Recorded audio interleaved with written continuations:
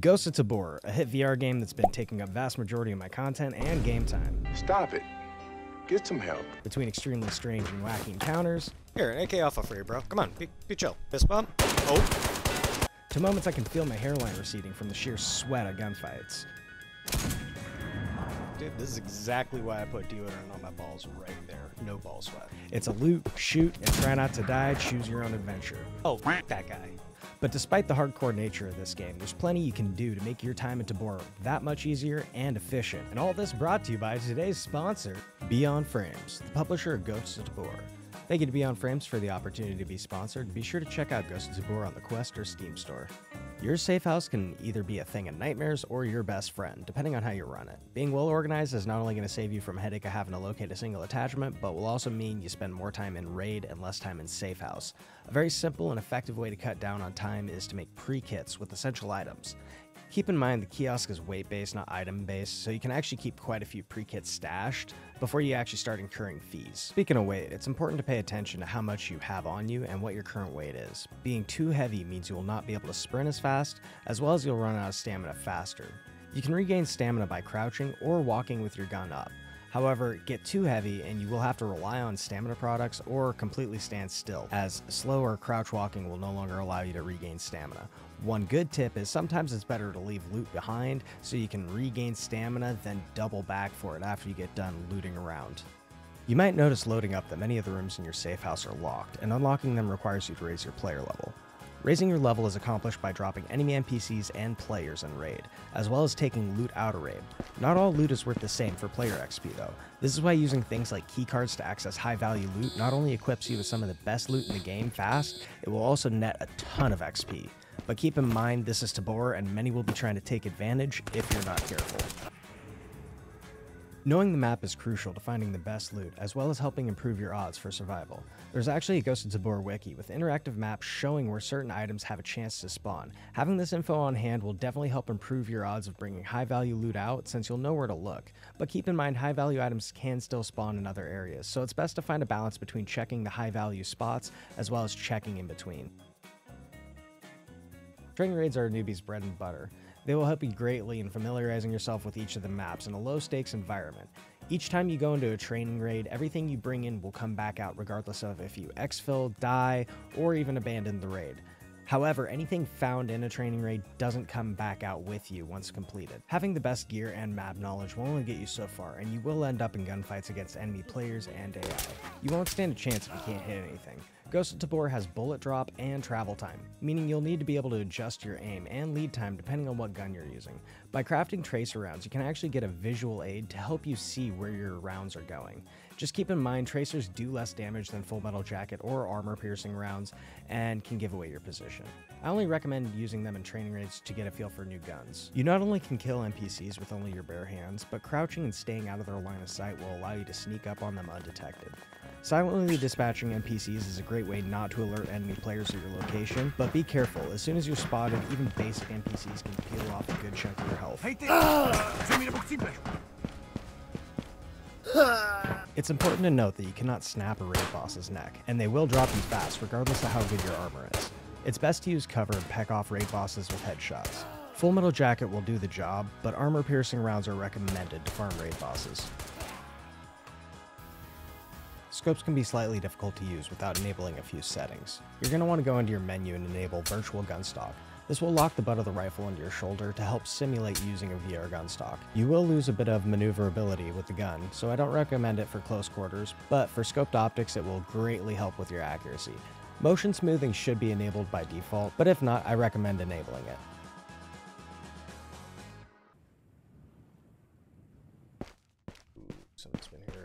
Uh, real big shame to get shot. Key card WAP. And it's kind of late. I'll polish this off, I guess, and uh, yep, that's Popper. We're at. Pop. Oh, uh, pepper sauce. No pepper sauce. I guess it's a fresh wipe. Might as well grab it. It's all XP. It's all XP. XP, XP. Also XP, even though I don't like this site. XP. Doesn't really matter. Just slap that on there so it's not taking up uh, space. Ah. Nothing. Uh, nothing. Fresh. We need them XPs.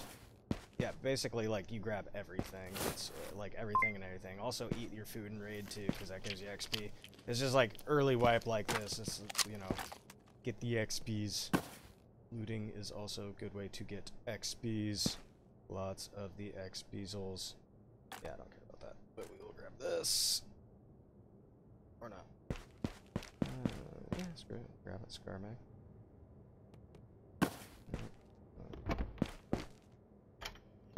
Come on, Ranger Handbook, Ranger Handbook, and nah, dang it. Ooh, hello. Yeah, silenced. Let's go. Now I can finally be quiet. And that's an ASVAL. Hell yeah, look at that. We haven't even opened the vault yet. We already got a halfway decent gun and a silencer. Hell yeah. Alright. Well, I guess moment of truth here. Let's see what, uh, well, I guess cheese. We got cheese? No cheese. Another candy bar or muesli bar. Yay.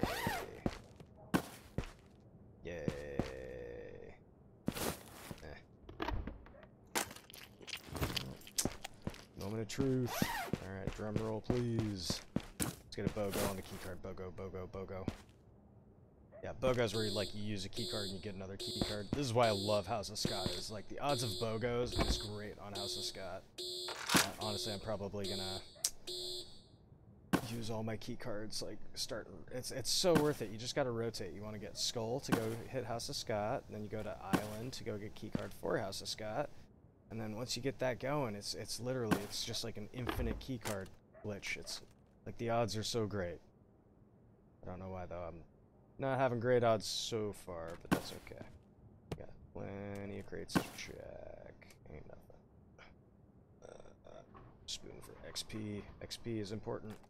Can't sell this for nothing, but XP's worth it. Woo! Money! We just got two top tier VGs, baby! Oh, we're going to Night Island. Oh, hell yeah. That's, that's nice. Come on. Come on. Think thin. It'll fit there somewhere. Uh, come on, come on. Uh, good thing about Tetris Pro, eh? And come on, come on. Eh, eh. Yeah, yeah. Let's go. There we go. Nice. Definitely flipping that out. Heck yeah. Upgrades. Very nice. Alright, we're all chunky boy in it. We got some more grips. Got a crypto wallet. I guess. some one shot choose. Very nice. Nice. Good optic. I don't use it, but it's worth good XP, so we'll bring it out raid. All XP, XP, X. Ooh! Ooh! Money! Money! Money! We did it. Money. Look at that. Look at that. Look at that. Money. Oh, we got the BOGOs. We got the BOGOs. We got the BOGOs. I got the BOGOs. Ah, already off to a great start this wipe. Look at that. Oh, look at it. Oh, look at all the stuff, all the XPs. Yes, sir. Another rifle suppress. Oof, this is gonna be a good one already. I can already tell. Let's go. Very nice.